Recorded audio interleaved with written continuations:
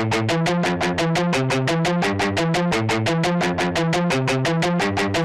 met a girl, she liked to party. She messed me up.